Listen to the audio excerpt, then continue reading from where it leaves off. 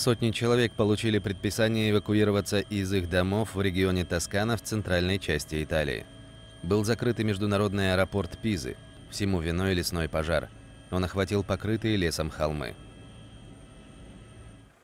Власти считают, что лес кто-то поджег умышленно. Возгорание началось на горе Монтессера. Она находится между городами Пиза и Лука. По данным властей, около 700 человек были вынуждены покинуть свои дома в городах Кальчи и Викапизана. Там также закрыты школы. Сообщения о пострадавших людях и поврежденных домах пока не поступало. Как сообщается, выгорело более 600 гектаров леса, Пизу накрыло большим облаком дыма.